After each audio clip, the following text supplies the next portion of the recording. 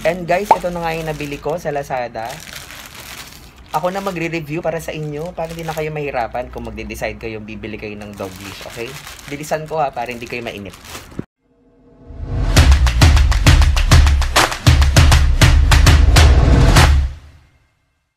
Okay, so tatlo yung binili ko. Ang total na binayaran ko ay 177 pesos. Okay, pero ang total ay 215 kasama yung shipping. 59 pa lang isa. Sorry sa intro ko kanina. Mali ano? 59. 59 pesos ang isa. So, buksan natin. Baka kasi may mga naghahanap sa inyo, di ba? Ng dog leash. Ito, 59 pesos. Oh, maganda. Mm. Matibay. Mo ba, medyo mahal to sa ano ha, medyo mahal to sa labas. Yung ganitong klase. Kasi, eh, kailangan ko kasi medyo matibay kasi malalakas talaga tong mga alaga kong baboy. Baboy yata to, yung mga aso to. Yan. So, bumili ako ng tatlo. I have one that's brown. Okay. And then, syempre, meron tayong black. Mamaya, i-award natin. Yung isa kasi dyan, si Bekbek, hindi po sa akin yan. Sa kapatid ko yan. Ang problema, nako, may balita ako sa inyo, may chika ako. Alam nyo kung anong chika ko? Si Bekbek, malandi. Ay, hindi naman si Bekbek talaga yung malandi. Ang malandi talaga si Pretzel. At dahil malandi si Pretzel, guys, abangan ninyo, mukhang nabuntis ni Pretzel si Bekbek. Oh no! The problem is, sila ay magpamangkin ni Pretzel si Bekbek. Pinili ko, huwag kayong magagalit ha, kasi tat apat sila dyan, tat tatlo lang. Hindi naman kasi akin yung isa, at babawiin na rin sila soon. Bagong kasal kasi yung may-ari niya. So, meron akong brown. Sobrang nakatipid talaga ako dito, as in sobrang tipid talaga. Tinatahol na nila ako kasi alam na nila na malapit na sila maglakad. Wow, ang ganda oh. Hmm. So, kanino kaya ang red? Siguro ang red kay, ano, kay Ice bilang siya ang babae. Tsaka hindi siya masakit. Trinay na namin to. Marami din siya multi-purpose. Halimbawa, pagod ka na sa life, 'di ba? Tapos ayaw mo na mabuhay. Ayan, pwede rin siya.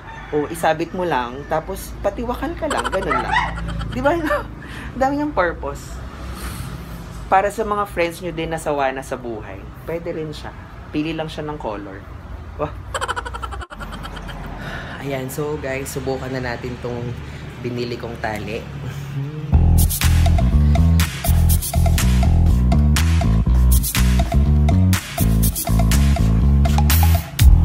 You show up first, you're staring at me O, padaan.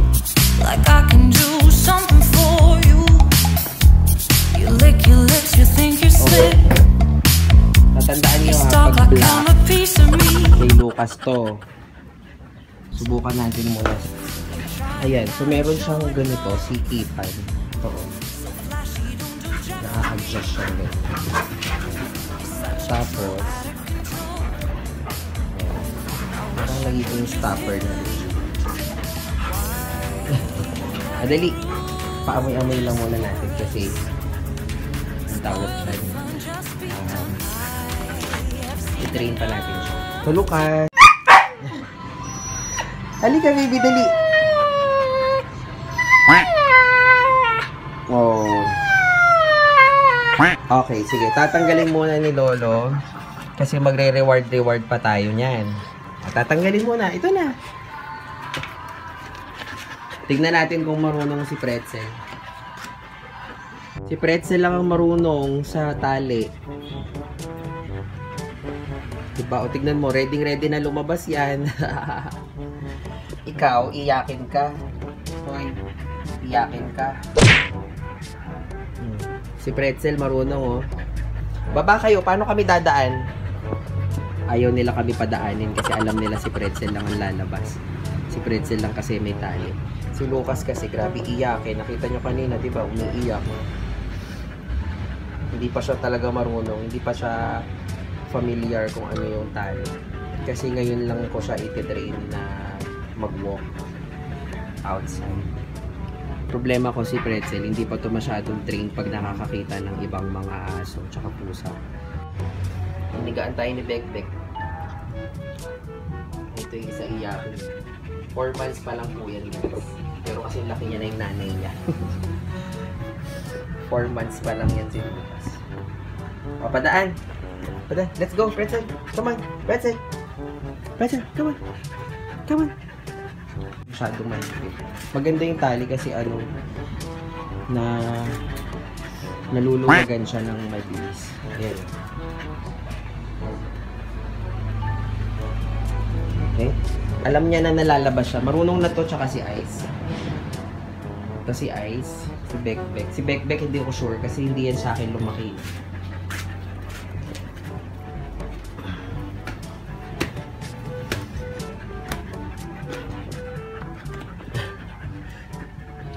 Narangan ni Bekbek yung dadaanan natin.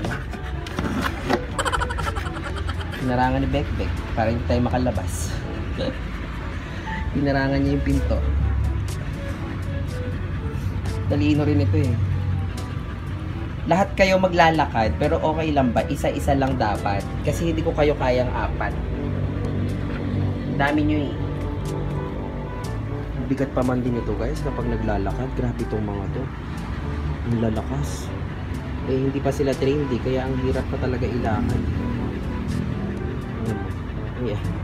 Pinarangan nila yung pinto. Kaya hindi kami makalabas ni Pretzel. Ayan.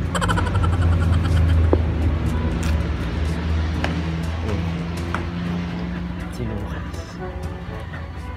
Si Lucas. Ang laki-laki na ni Lucas, grabe. Bek-bek, baka malaglag ka dyan. Bek-bek. Shh, shh, Baba doon, baba. Nalaglag na kasi yun eh. Ito, nalaglag na rin to. Ano?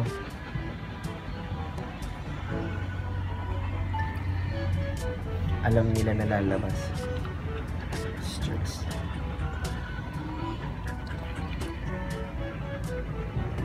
Kailangan natin bumili ng spray. So ano, ganito na lang tayo. Tutunga nga. Ano, dapat kapag lalabas may tali. So, si Pretzel lang ang lalabas kasi siya lang ang may tali. Siya lang ang pumayag magpatali. Tignan niyo sila guys. Lahat sila nandito. ah.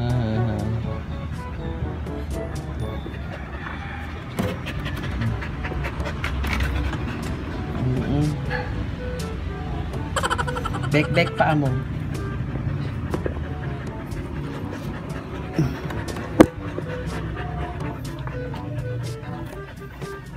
Let's go na.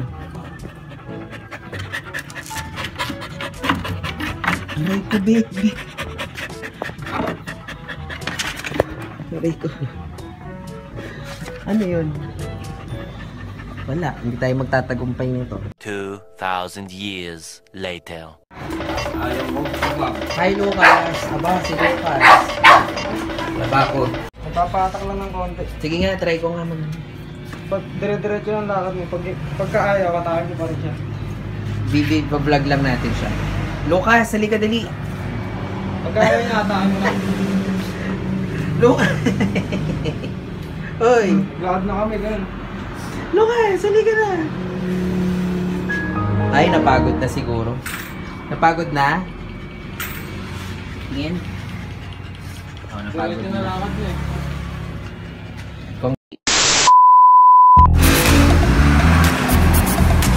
Labas ka,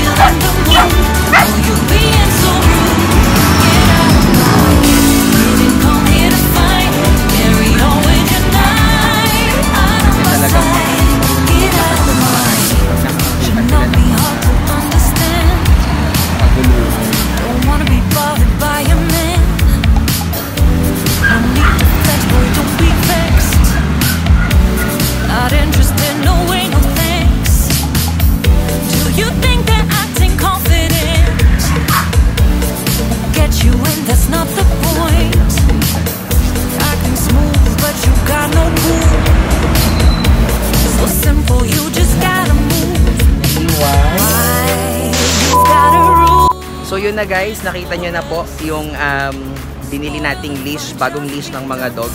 Maganda naman siya, heavy duty para sa presyo niya. Sobrang mura no. Um, heavy duty naman siya and uh, kayang-kaya naman niya yung mga aso ko na sobrang lalakas. Hindi lang ako yung nag-walk sa kanila kasi hindi ko kaya talaga. One. Kaya lang nga, medyo hindi siya kagaya ng iba na ano, pag sumikip siya, sumisikip talaga siya. Okay, kaya paminsan-minsan kailangan mong i-monitor yung yung luwag or yung sikip nung nung tali sa leeg kasi baka masaktan din naman yung mga ah, dogos natin, 'di ba? So, ah, napansin lang namin nung pamangkin ko nga na pag sumikip, sumisikip talaga siya. Although, maano naman eh, mabilis naman siya napupul para mabilis siyang lumuluwag. Pero, yun nga, kailangan mong i-monitor. Kasi nga syempre dahil mura rin lang naman 'di ba what do you expect 'di ba? Pero I think very soon bibili na rin lang talaga ako nung tali na ano yung overall na nasa chest. Kasi ayoko din talaga na nasasakal sila. Ayan. pero kasi kung training kasi ang pag ang purpose mo yun talagang mga tali na yun yung dapat mo din gamitin. Kasi if you're if you want to train your dogs kasi kailangan din talaga nandito para makakontrol mo yung yung gusto mong ipagawa sa kanila, especially when they're walking. So guys, yan muna sa ngayon. And I hope nag-enjoy kayo sa video namin na nila. So, thank you so much for watching our video. I hope huwag niyo pong kalimutan na mag-subscribe, mag-hit ng notification bell para updated kayo sa ating mga video. So, and uh, don't forget to comment also in the comment section if meron kayong mga gustong makita sa mga dogs ko, sa business, o kung anong gusto nyo makita sa buhay ko. Huwag nyo lang ako pagbobold din, o, 'di ba? Huwag na, huwag na tayong mag-bold. Ayan, tama na yung mga dogs lang natin. So, with that, thank you so much and I hope you enjoyed our video. Bye!